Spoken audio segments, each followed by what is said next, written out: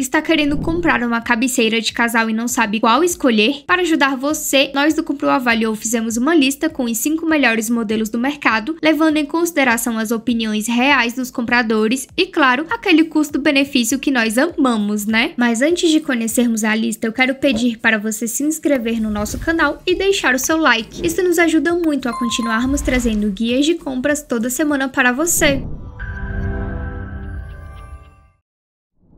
Para dar início à nossa lista, nós trouxemos a Tessil Arizona. Se você está procurando por uma cabeceira boa e barata, essa aqui pode ser uma ótima opção. Com um design minimalista lembrando um painel, o modelo se adapta a qualquer tipo de ambiente, já que o mesmo possui ajuste de montagem para colchões de 1,38m e 1,58m, para atender a sua necessidade da melhor forma possível. Além disso, ela conta com quatro prateleiras, sendo duas de cada lado, sendo perfeito para colocar o seu abajur, livros ou até mesmo uns vasos para decorar. A cabeceira é vendida entre 246 a 285 reais e o link de compra mais barato e seguro está na descrição. Até o momento, o objeto contém 27 avaliações reais de compradores, ficando com uma nota geral de 4.7 de 5, no qual 93% das avaliações foram positivas e apenas 7% foram negativas. Partindo para o quarto lugar, temos a Arte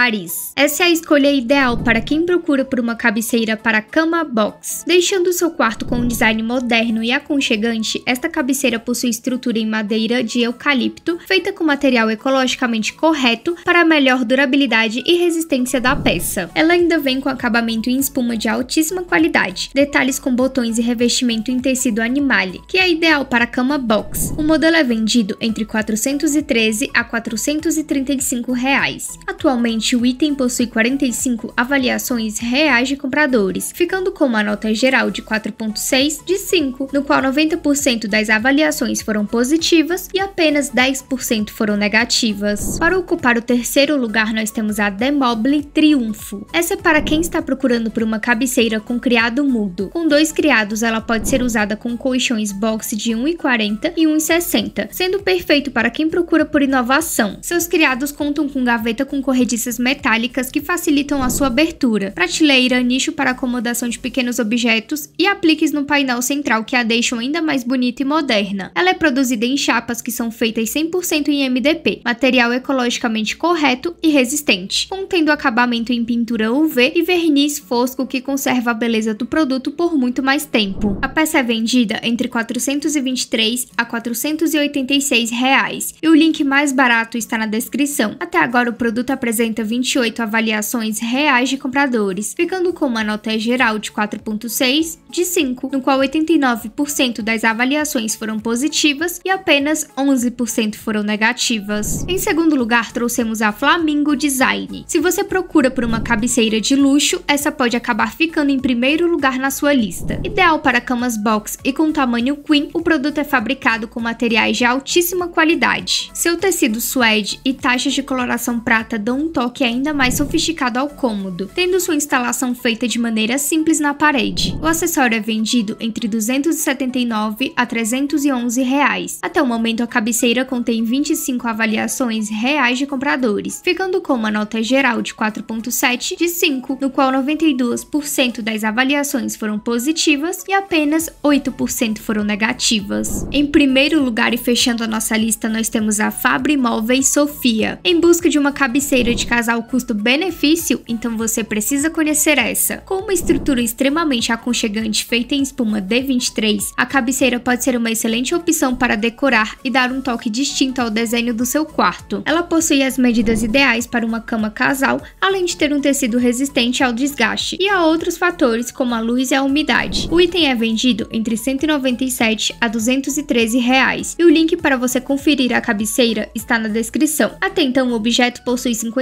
57 avaliações reais de compradores, ficando com uma nota geral de 4.6 de 5, no qual 89% das avaliações foram positivas e apenas 11% foram negativas. E então, qual dessas cabeceiras você está pensando em comprar? Conta pra gente aqui nos comentários. Vale lembrar que os preços dos produtos mencionados no vídeo podem ser maiores dependendo do período que você está assistindo a esse conteúdo, mas todos os links exclusivos estão sendo constantemente atualizados para ajudar ajudar você a pagar mais barato e com segurança. Um beijo e até a próxima!